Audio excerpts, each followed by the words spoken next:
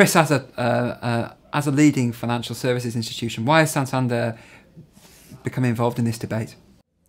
Oh, yeah, I, I think that's very simple. I mean, you know, you must get the right impression. We haven't invested in the uh, Greater Manchester area uh, and the Northwest, and indeed the UK generally, just to lend money or to take customer deposits. We actually would like to see ourselves bus now and going forward as very much a part of the community. And so this sort of event was a given as far as I was concerned, Chris. Excellent. Um, we've talked in the debate about Greater Manchester being a good place to live and work. What really sets it apart um, as a dynamic region?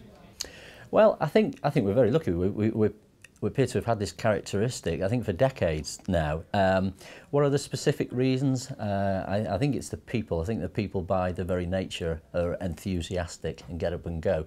Um, but I also think one slightly more specific thing is that I think Manchester is very much uh, internationalised, and I think that's increasingly important. I'm not saying we're the only city in the UK that uh, fits that description, but I think we're certainly one of them, and I think it makes a huge difference. Excellent. What more could be done to help, Chris?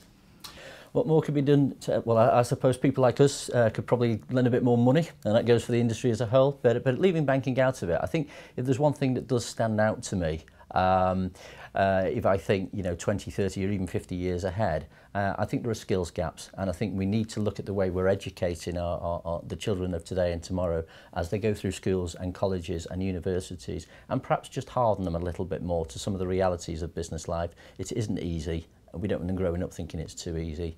Uh, and I think it's important that we get that right now uh, with an eye on the future.